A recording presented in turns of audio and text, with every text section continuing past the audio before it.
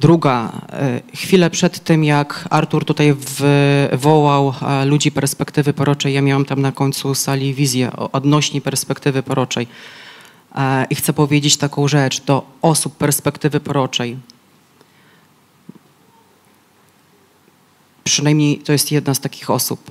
Podjąłeś pewne decyzje dzisiaj podczas nabożeństwa, podczas uwielbienia i w związku z Twoimi decyzjami, które podjąłeś, urosły Ci nowe pióra, poszerzyłeś się. W związku z tym od tej chwili będziesz mógł latać na wyższych pułapach, lecieć szybciej a, i mniej się będziesz w tym męczył. Ale pamiętaj o jednej bardzo istotnej rzeczy, że komu więcej dano, od tego więcej się będzie wymagać. Więc z nową dawką namaszczenia jest związany nowo poziom odpowiedzialności.